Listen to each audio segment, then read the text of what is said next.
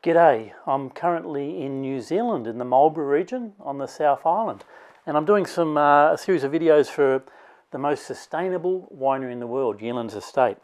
Of course, one of the great things about doing some work for a winery is you get to sample some of their fine produce. So, uh, fantastic. Anyway, recently in the mail I received um, an item that I was asked to review. And when I first received it, I didn't really know whether it's going to be much use to tell you the truth. Um, I always try to keep my gear to a minimum. And um, the reason that video producers are such poor dressers is because, have a look at this. That's all my gear. So here, radio mics, mics, cables, blah, blah, blah, camera bag full of gear. On this trip I've got two tripods, one of which the camera is on, two cameras, this contraption, a stabilizer, Steadicam, uh, bag for Steadicam, and in this, this, this bag pretty much just carries everything on, on the plane, the two cameras, the laptop, the hard drives. So I really don't have a lot of room for clothing, for anything else.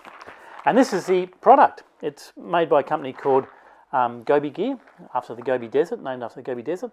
And this is called a hobo roll. And it's got the appearance of the swag of the old, in Australia um, during the Depression, there were there were men who were out of work and they'd roam from town to town and they just had their bluey on their back, a swag, and it's got that, that real appearance of a swag.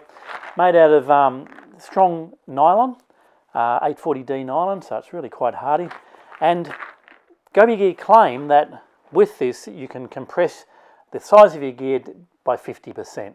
Um, and but what I find really handy with it, it's got five different compartments, and so I can compartmentalize my gear. Let me just give you a bit of a look in there.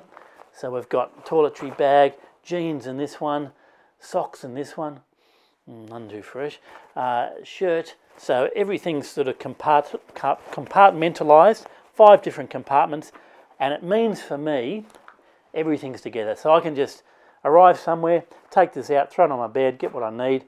It's all there. I know where it all is. Makes it easy to pack, makes it easy to you know, you know where everything is, which is great. Um, Gobi Gear uh, set up by a, um, a botanist, and um, she's got a thing for sustainability, which is fantastic, ties in with the work I'm doing. They try to use recycled and post-consumer materials whenever possible. So this is made out of new and uh, recycled materials. Uh, they use recycled paper and everything they do, which is, you know, every, every little thing helps. So, yep, that's it. The Gobi Gear Hobo Roll it's actually, I'm surprised it's coming.